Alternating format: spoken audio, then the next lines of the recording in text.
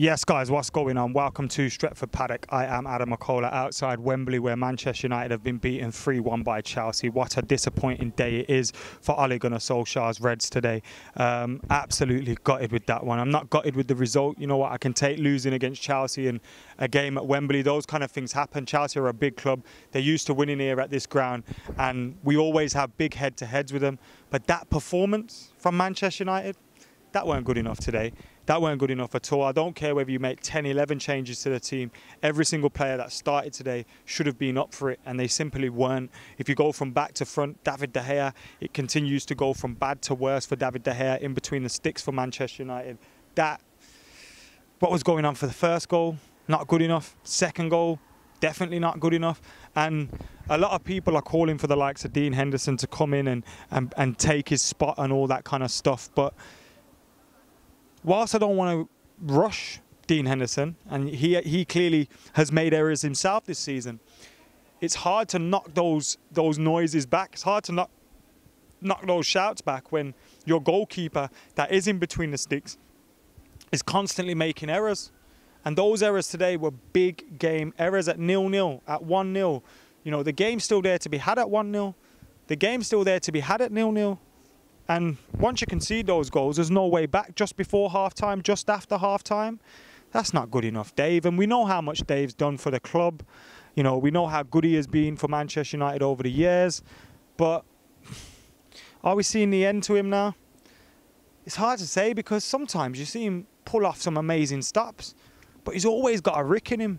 And he's costing us. Last year, you could have said he cost us top four. This year, he could have cost us the FA Cup.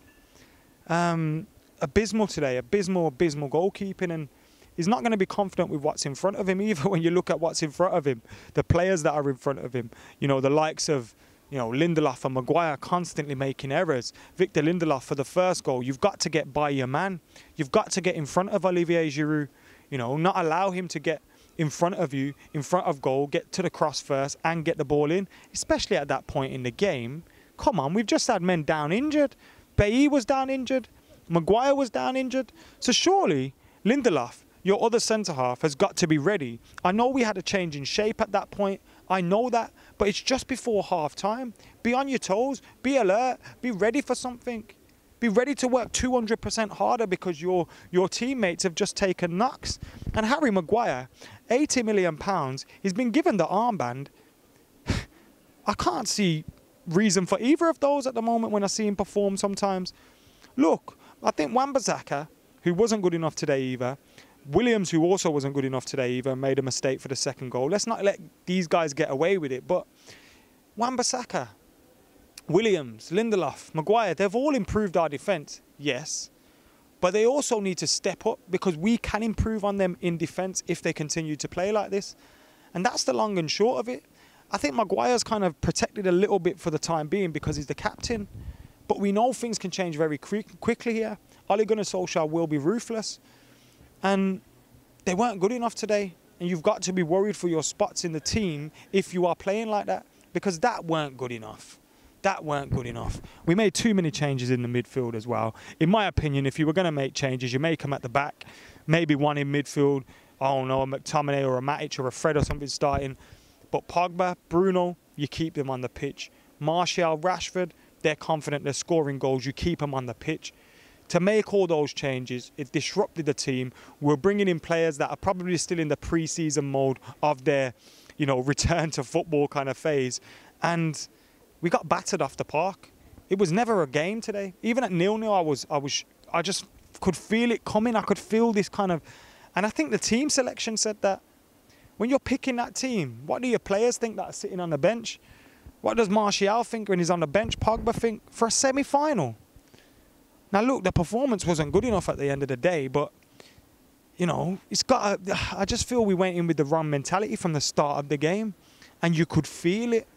You know what I mean? Feel it when you go to a game. Sometimes you feel it in the crowd that it's not going to. Obviously, there weren't a crowd here today, but you could feel it just watching it. You could feel it that it was going to go wrong for United today, and it it really did. Matic his performances have taken a dip since he's got a contract, a new contract. Let's hope that's not the way forward for him from now on because, you know, we want him to get back to that position. We're already short in depth in that area, so we clearly need someone to cover him. You know, further field, I thought Bruno didn't have the best of games today. He got a kick in the bollocks at one point. He was getting clamped all over the place. The referee was abysmal. Um, but Bruno's going to have off days. And it, it, reminded me of Pogba when Pogba had to play with Daniel James out wide. No striker, Rashford, um, you know, Matic playing poorly, the defence. Like, it reminded me of that. Everyone seemed to get excited and think Bruno had resolved everything at Man United. He hadn't. He's a fantastic player that came in. That coincided with us getting, you know, a few other players back, you know, going on a little bit of a good run. I think Bruno's made a massive impact to the team. I think Bruno has improved us fantastically well. And he scored again today. You know what I mean? He, he shits goals and assists, but he's not the only thing that's going to fix us. We need to make sure the rest of the team is functioning as well. And you can't just play Bruno and think, oh, yeah, we'll be all right. Bruno's playing. Because, you know, get it out of your head. Bruno never fixed everything. We needed a number 10. We needed a creative player. He came in and he was that creative player. But we've still got faults in our team. And hopefully, what this has shown today, you know, Daniel James not good enough today. Not good enough. I think he's a squad player. Beyond that, nothing more. Shouldn't be starting in semi-finals against Chelsea. Shouldn't be starting in semi-finals against Chelsea. Do you know what I mean? And this goes to people that have been saying, we don't need Sancho, we don't need Grealish, we don't need this, that. We need strength in depth. We need quality coming off the bench because we did not have that today. We didn't have it today. And if we want to rest players, if you want to rest Bruno, if you want to rest Pogba, you can do that if you've got a Grealish coming in or a Jadon Sancho on the bench or whatever, but not this. Not this. We haven't got the quality on the bench to be able to come in. And we've seen over the last couple of weeks, we've we've battered the first 11. We've played them week in, week out. They're fatigued, they're tired. You could clearly see there was one team that has played three games this week and one team that's had 48 hours more rest but also the performance wasn't good enough. And I feel like the approach to a semi-final wasn't good enough. Maybe Ole Gunnar Solskjaer is preferring to put, you know, the the FA Cup to one side for this season and just get Champions League football. And maybe if we're going to get a trophy, you, you, you focus on that Europa League. But I didn't think it had to be an either or today.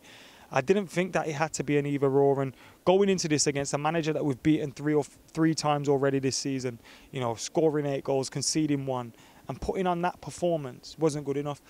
I didn't mind if we lost today, but it was the manner of the. You can always lose a game at Wembley against Chelsea. Do you know what I mean? It happens, but it was the manner of the defeat that got me today. That wasn't good enough.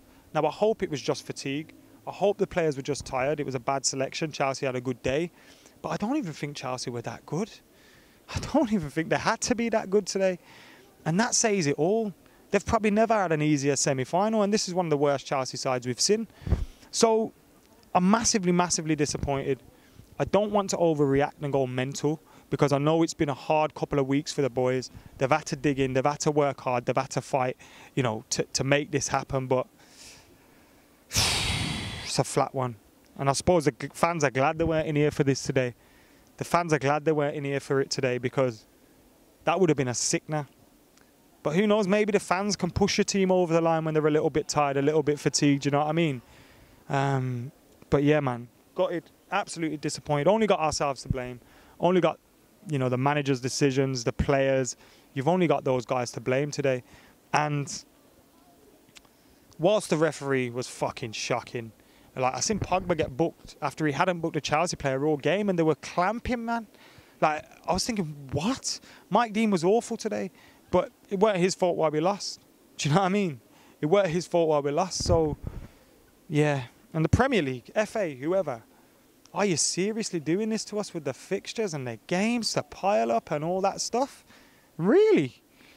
Three games we had in five days, six days. These men have been chilling since Tuesday.